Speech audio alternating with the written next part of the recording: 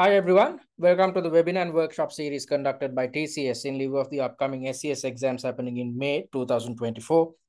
My name is Nic and I'm the lead tutor and evaluator for SCS at TCS. So uh, let's uh, look at the session plan. So first things first, I will be highlighting what you need to do to uh, develop a positive mindset uh, before your exam. As you know, you just have uh, two or three days until your examination. So in these uh, upcoming, uh, you know, final days, you have to you know develop a high level of confidence because as per the CIMA examiner if you're confident about your skill set then uh, chances of you passing your SCS exam is extremely high. So with that in mind, I will be sharing last minute tips with you to ensure that you walk into your exam with a positive mindset.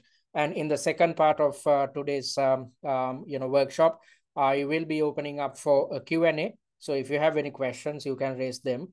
And if you have any last minute doubts, you can uh, you know clear them by uh, raising your questions and concerns. Okay, so let's uh, you know try to understand what you need to do to maintain uh, a higher level of confidence or a positive attitude uh, um, you know in the upcoming days. So before the exam it's best to rest your mind and body. So by now you should have uh, completed your five mock exams uh, because if you adhere to our study plan you were expected to uh, attempt a mock exam per week. So if you had already done it kudos to you. Uh, then in the upcoming days, you should rest and you should not focus on uh, develop uh, you should not focus on attempting mock exams. Uh, again instead simply focus on redeveloping answer plans because if you uh, focus on redeveloping answer plans focused on all five mock exams you can also redevelop answer plans um, focused on the free mock exam. If so uh, you will be redeveloping answer plans focused on six mock exam mock exams in total. So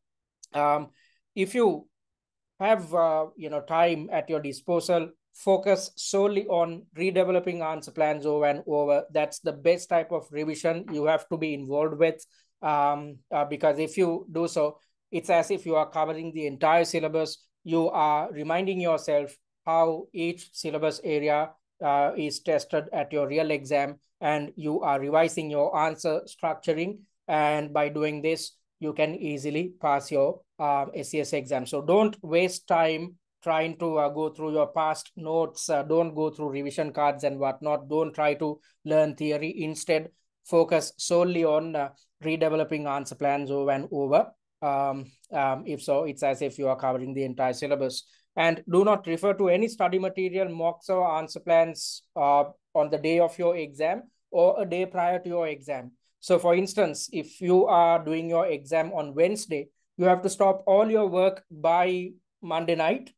You have to relax on Tuesday because um, as I've mentioned throughout these uh, webinars and workshops, um, the CIMA examiner is trying to replicate a real life corporate environment. So in a real life corporate environment, if you are to function um, as a successful senior finance manager, then it's best that you walk into office with a rested mindset and it's uh, better to have a higher level of uh, or, or uh, it's better to be open minded especially given the fact that uh, your application skills are tested heavily at the SCS exam.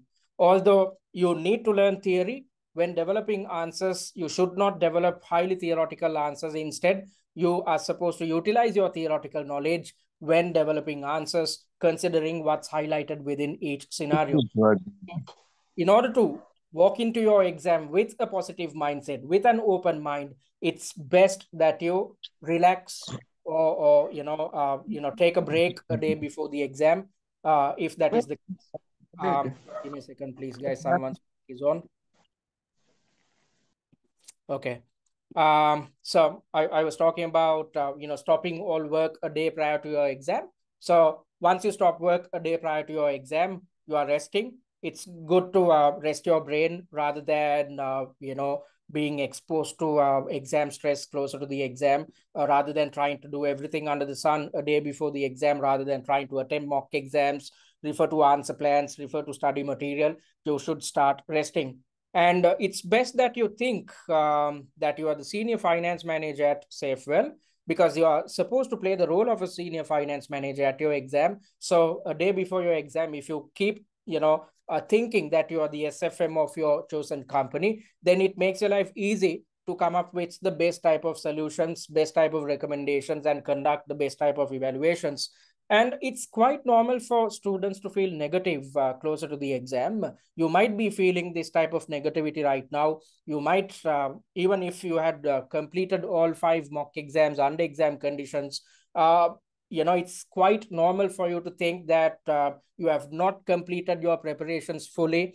Uh, you will always keep thinking whether you have missed out on any elements with regards to preparations, and you'd try to go through revision cards or refer to your past notes and whatnot. You'd try to, you know, reattempt mock exams once more. If you had completed all your work as at now, simply focus on redeveloping answer plans. Uh, you know, even myself, when I was a student, I've felt this, you know, even when I've completed all my preparations, I, I usually, when I was conducting studies, um, I, I was involved with self-study. So because of that, I had to adhere to a study plan. I created a study plan by myself. And even after completing all preparations, two or three days before the exam, I still felt that I have not done enough. So you will feel the same way.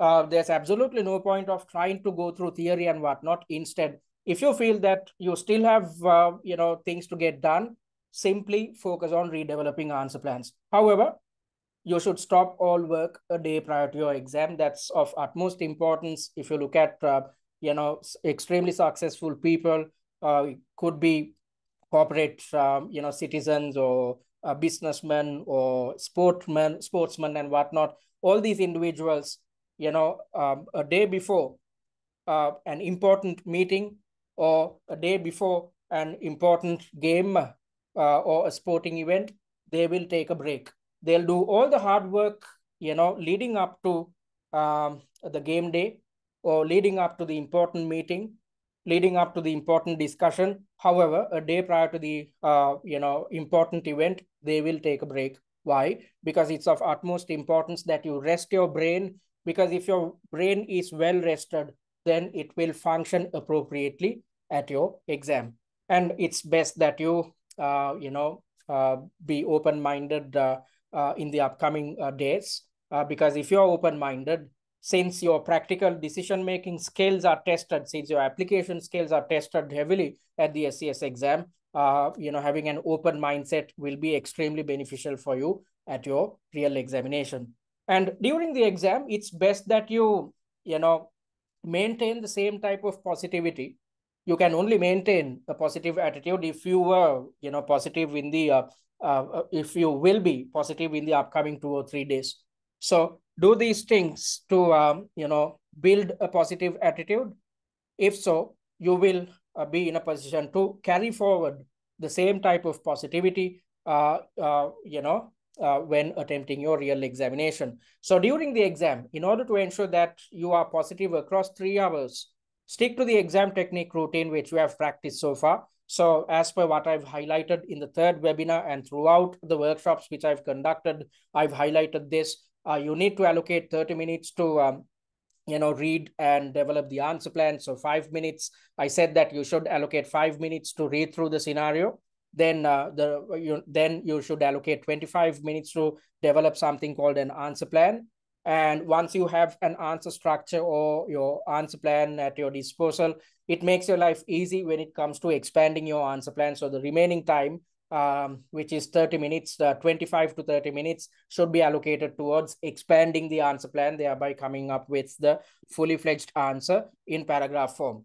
So I hope you would have uh, practiced this when attempting the mock exam. So, you know, replicate the same methodology at your real exam. Because if so, you are conversant with a certain technique, which will ensure that you structure your answers appropriately. You are, uh, you know, adhering to a technique uh, which you have practiced so far. It's best to, you know, stick to the same type of techniques which you have practiced when conducting your preparations at your real exam as well. So in order to maintain a high level of positivity, um, you need to stick to the exam technique routine. Don't deviate from it uh, believe um, in the technique which you have practiced, believe in the skill set which you have uh, uh, gathered uh, when conducting your preparation so far, and replicate the same methodology at your real exam. And it's quite normal for you to feel stressed at your exam.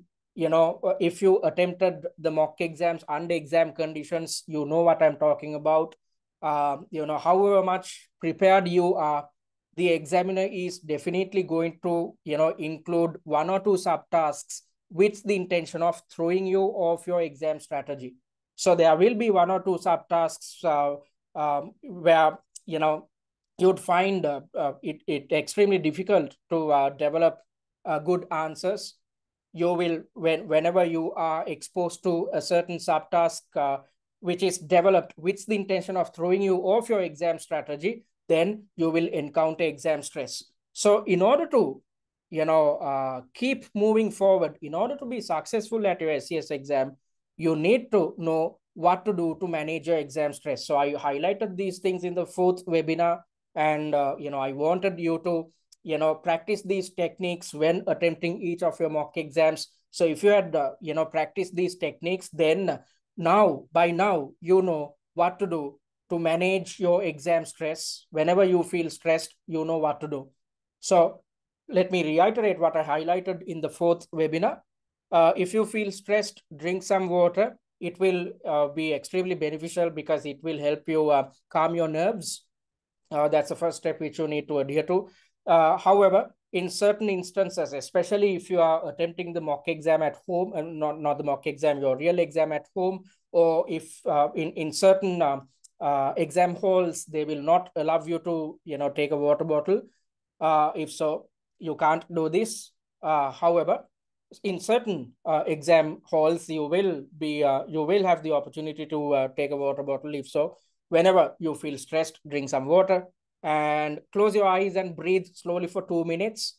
As I mentioned earlier, the CIMA examiner is not just testing your knowledge or your application skills uh, the CIMA examiner is trying to figure out whether you are capable of managing stress because as a senior finance manager, you should be able to manage stress.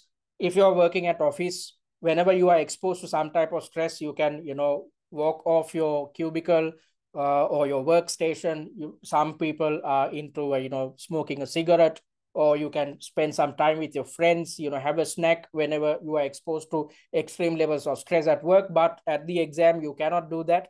So the examiner is trying to figure out whether you are capable of managing your stress levels. If so you are um, you know capable of uh, carrying out uh, um, or, or, becoming a management accountant uh, becoming a successful management accountant. So as I mentioned earlier, the examiner is not just testing your theoretical knowledge and your application skills. The examiner is trying to figure out whether you have the capability of managing stress. So whenever you are exposed to a certain subtask or a question which is meant to throw you throw you off your uh, exam strategy or your exam technique, close your eyes and take uh, uh, you know two minutes. Uh, take a break of two minutes close your eyes and focus on your breathing because as I mentioned in uh, the fourth webinar, um, at an exam, you are supposed to come up with the most rational type of recommendations or carry out the most rational type of evaluations. So if you are to be rational, you have to utilize your prefrontal cortex. Our brain is divided into three main parts. So uh, the front part of our brain is uh, known as the prefrontal cortex. So if you want to be rational, you have to, you know, think using your prefrontal cortex. However, uh, whenever an individual is exposed to extreme levels of stress, what happens is uh, the prefrontal cort cortex will switch off and the functionality, brain functionalities will be switched to something called the amygdala. There's this small portion of our brain which is known as the amygdala, which gives us the fight or flight response. So when you are expected to utilize your prefrontal cortex, when exposed to extreme levels of stress, what happens is the prefrontal cortex will switch off and the brain's functionality will switch to uh, the amygdala. And when that happens, you will panic. And because of panic, you will expo you'll be you'd experience something called brain freeze, where you are trying to read something, but nothing goes into your head. You are trying to develop answers, but you cannot come up with, uh, you know, something rational. So whenever you are exposed to something like this, always remember you need to do everything under your control to switch off your amygdala. And once you switch off your amygdala, brain functions will again shift to your prefrontal cortex. So there's only one thing which you can do to switch off your amygdala, that is to focus on your breathing. So close your eyes and breathe for two minutes. Uh, focus on uh, fo fo focus on your inhaling and exhaling. When you are inhaling, um, you have to inhale through your nose, and when exhaling, you have to exhale through your mouth. And always, when focusing on your breathing, focus on the entry and exit points when you are involved with breathing. So focus on the tip of your nose when you are inhaling and focus on the tip of your lips when you are exhaling. That's the only way to switch off your amygdala. So whenever you are exposed to exam stress, if you do not do this, you're, you know, um, um, uh, you are, um, you know, uh, operating out of panic. And when you are panicking at the exam, your brain will constantly keep telling you to, you know, uh, come up with quick answers with the intention of finishing off the exam as fast as possible because no human brain likes to be under stress. So whenever we are exposed to a stressful element or a situation, the brain tells you to, you know, move out of such an experience. So in order to make sure that you are serious at your exam, that you are successful at the SCS exam, whenever you, uh, you are encountering stress, you have to focus on your breathing to overcome uh, these type of uh, stressful situations. And, uh, you know, some sometimes what students uh, will do is um, before each task, um, I've, uh, you know, encountered students uh, who'd, you know, focus on their breathing for two minutes. Why is this the case? Because if you look at our brain how and how it functions, our attention span is just there for 45 minutes. Beyond 45 minutes, we cannot focus on the same thing. That's how our brains are uh, supposed to function. So it's best since uh, the time allocation per task is 60 minutes. After you are done with a certain task, before moving on to the second task or the next task, focus on your, close your eyes and focus on your breathing for two minutes. Then start, um, you know, uh, developing the answer plan for the second requirement or reading through uh, the question pertaining to the second requirement. If you do so, it's as if you are refreshing your brain before attempting each task. So these are the best practices which you can adhere, uh, adhere to. I hope you would have practiced these things. If you had practiced these things when attempting the mock exams, then uh, you know what I'm talking about. You know how beneficial these techniques are. And simply by replicating the same uh, uh, techniques at your exam, you can overcome exam stress. So always remember, it's not just about your theoretical knowledge and application skills. You have to manage your stress if not, you will be unsuccessful at your SCS exam. So now you know what to do when you are encountering stress at your exam and you can actually you know uh, implement these things in your real life as well. Whenever you are exposed to some type of stress uh, your amygdala is um, you know functioning. So you have to switch off your amygdala and the only way to do it is by focusing on your breathing.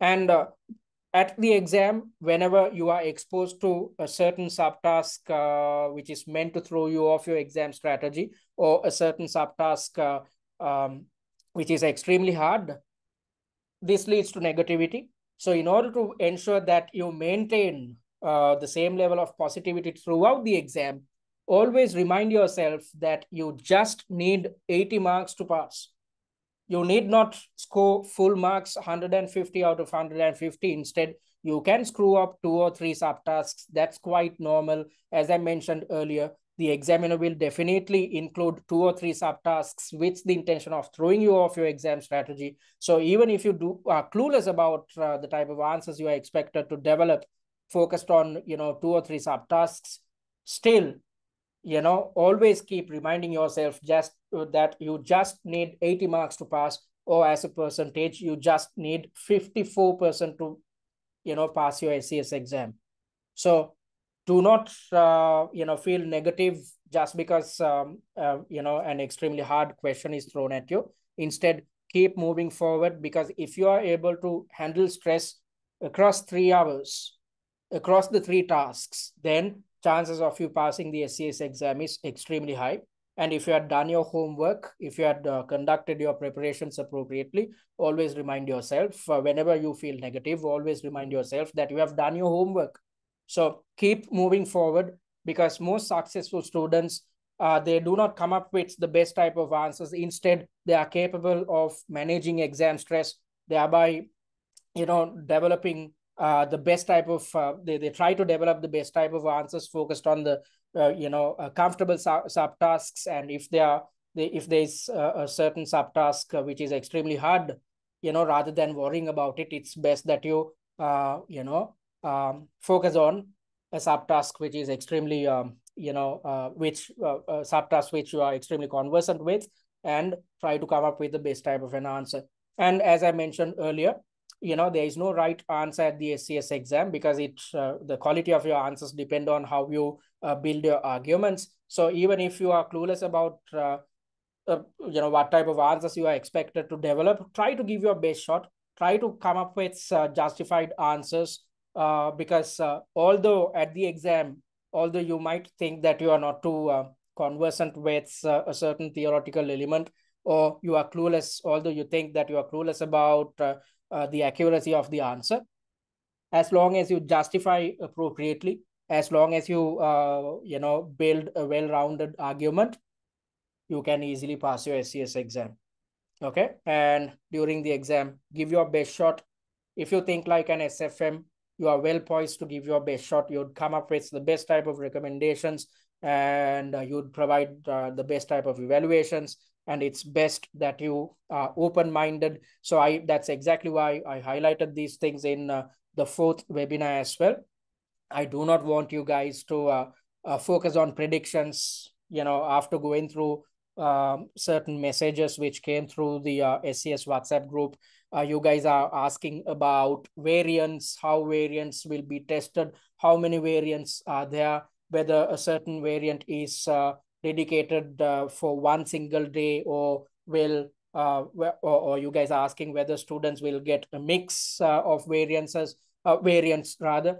Uh, there's absolutely no point of uh, focusing on variants. There's absolutely no point of uh, thinking about predictions because as i've mentioned throughout these uh, sessions the CIMA examiner is trying to replicate a real life corporate environment. So in a real life corporate environment you cannot predict the type of issues your company is going to face and the type of opportunities uh, which your company is trying to exploit.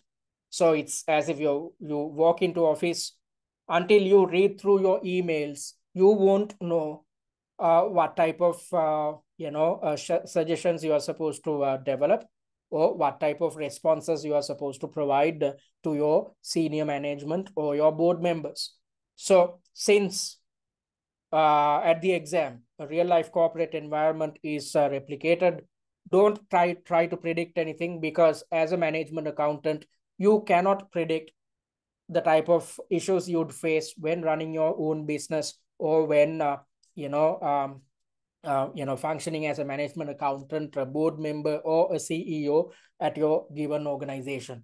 So don't try to predict anything. Instead, build a high level of open mindedness so in the upcoming days, I want you guys to focus on redeveloping answer plans over and over with the intention of covering the entire syllabus and uh, significantly improving your answering technique. Other than that, don't do anything else and take a break a day before your exam.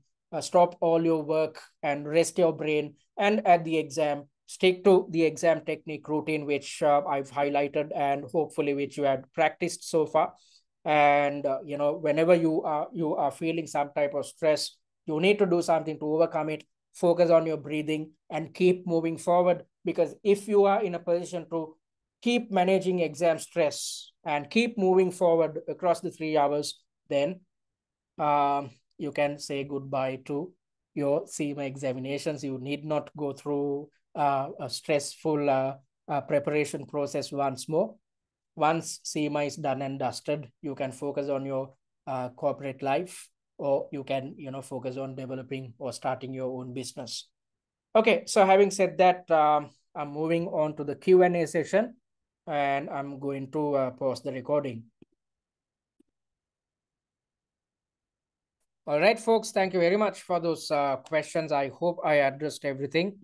And um, uh, if you want to contact us, you can do it via our website, which is www.study@tcs.com, or email us on uh, info at study@tcs.com, or WhatsApp us on this number. And I invite you guys to follow us on our social media handles, um, especially YouTube and TikTok, uh, because uh, the recorded versions of these webinars and workshops will be uploaded to our YouTube channel.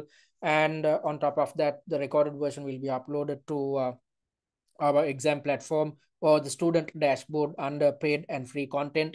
And on top of that, via TikTok, you will gain access to um, uh, mind map, which covers the entire pre-seen. So if you keep watching these three TikToks, uh, which we have developed, um, you can keep reminding yourself about what's highlighted within your pre-seen document. So it's a good summary.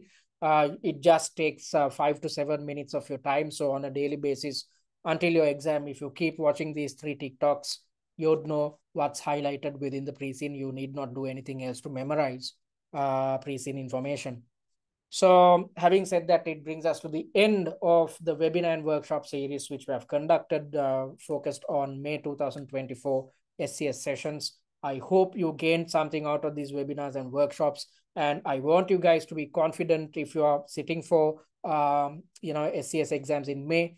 Be confident, believe in yourself in the upcoming days. Don't try to do everything under the sun. Don't try to do too much. Instead, solely focus on redeveloping answer plans, and stop all your work a day prior to your exam. Rest well. Think that you are the senior finance manager at uh, Saefwell, and when developing answers, whenever the examiner is trying to deflect you from your exam strategy, or whenever you encounter a certain subtask which is extremely hard, um, just you know close your eyes and focus on your breathing and uh, you know keep moving forward because if you are able to manage your stress across these three hours then you are in a position to pass your SCS exam. So I wish you all the very best and uh, believe in yourself. If you do you will definitely pass your SCS exam. And always remember you just need 80 marks to pass or 54% to pass so even if you screw up two or three uh, uh, subtasks you still can pass so all the very best.